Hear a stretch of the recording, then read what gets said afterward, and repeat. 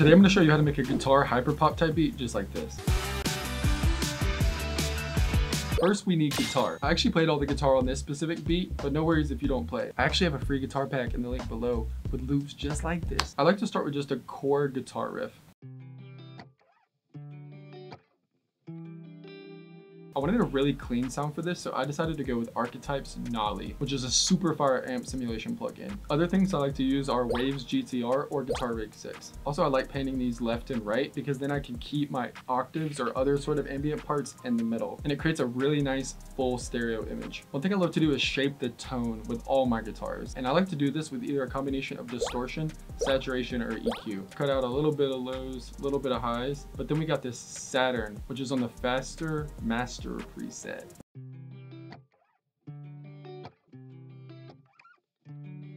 pretty subtle, but to my ears, it's just kind of bringing it to life and adding a little nice sparkle to it. Next, we got a little counter melody type part, and that's just, once again, actually the exact same preset, this clean chords by Nolly, and this is what the part's doing.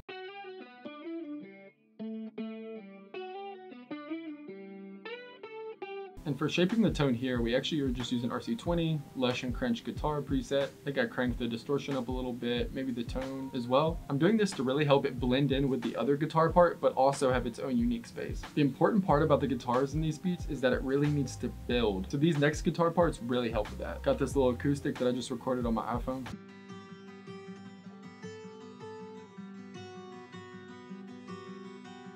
And then we got some like kind of almost pop punky type palm muted guitars.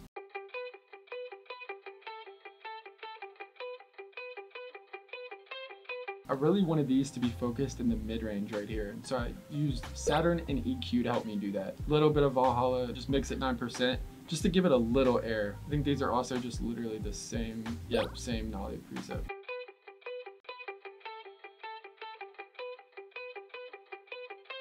Now that was sounding really good, but I wanted it to have more ambience. And so I played this little guitar part right here. I'm gonna mute all the effects and just play it with this Guitar Rig 6.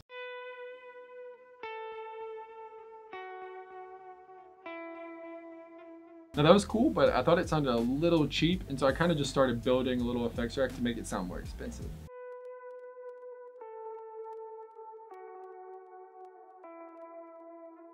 You just got a little EQ. This is where a lot of the kind of magic is happening. Using this Devil-Loc, then Micro Shift, just giving it a little width, and then Pan Man, just kind of giving it a little bit of movement and just make it more exciting and interesting. Another Pro Q3, and then we just got a little automation, which is just taking away the high end and kind of slowly bringing it in. And then just Portal. I just wanted it to be a little more interesting and have more texture. Next, we got this live bass. The setting is Pick the Crust on Guitar Rig 6. Now, a lot of times I see people just take a loop and then kind of just manipulate it for the hook. And I actually do that all the time and love doing that. But for this, I wanted the guitar chords and everything to be different for the hook. This is what I went with.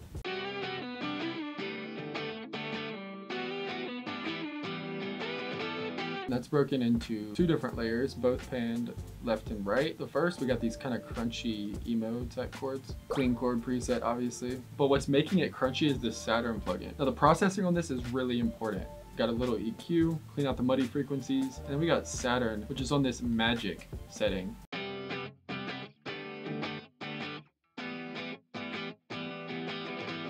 Once again, giving it a little bit more sparkle. Now I wanted to take that theme from the verse and really amp up the tone of it. So I just duplicated that part. Kind of sounds bad on its own, but I think it sounds cool in the mix. Now on the second half of my hooks, a lot of times I like to bring in octaves, just kind of elevate the energy a little bit.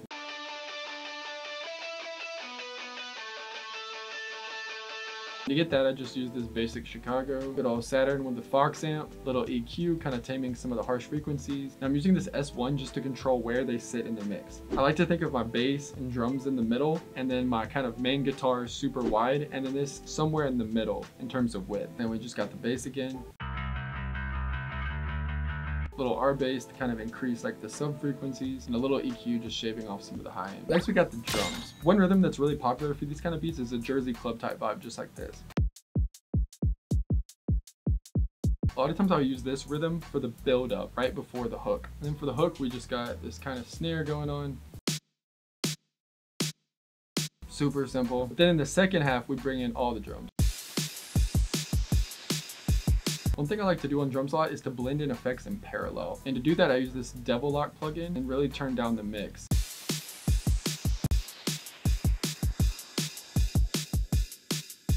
kind of gives it this grungier type feeling. On the second verse, I wanted to blend in some live sounding type drums. So I used this big picture drum loop, which is a part of my free drum kit that you can go get in the link below.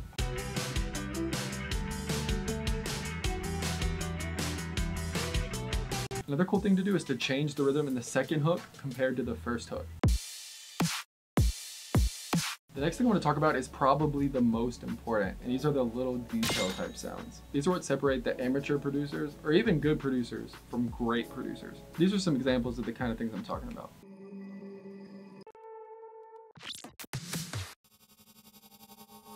All of these little things are meant to help the beat really breathe and come alive. Every eight bars, having something that kind of helps just move along, whether it be a riser, a tonal ambient type sound, or a fill. Also with these hyperpop kind of guitars, a lot of times I like to manipulate them or pitch them. And that's exactly what I did on the second hook. And so a lot of times I'll layer like an octave up or an octave down just to give it more depth. Added a little OTT just to kind of crunch it up a little bit and then EQ'd out all the high and low frequencies just to keep it really focused in the mid range. And then I just chopped a part of the guitar, pitched it up 12, added a few effects. I got thermal on rich aggression, and then the effect rack on micro shift, just kind of widening it out. For this halftime section, a really important thing is the bass. As far as the actual sound goes, super simple serum patch. The important thing is just the saw wave, the noise, distortion, little OTT, and then the movement, we got this little pitch bend thing going at the end. Now, sometimes I'll be a lot more aggressive with this, but I wanted to keep everything pretty simple just so the vocal could really shine on this beat. Another important thing just to keep your mix really tight is side So all I did was just copy the kick pattern with the MIDI and trigger all of the instruments with this ShaperBox kind of plug-in and it's just set to 1 4 so it really helps punch through the mix and kind of just gives it this nice little movement that I thought was cool. Another important thing to this sound is the master. Now it's different every time but I find that a lot of times saturating and clipping on the master is really cool. And even adding a little OTT just to kind of tighten everything up. Here's what it sounds like without the master chain here's with when you get all these elements together, here's a little preview of what you can do. That's it for today's video. I hope you enjoyed it. If there's anything I can improve on or if you have any other video ideas that you think I should do, make sure to let me know below. Other than that, I'll catch y'all next time.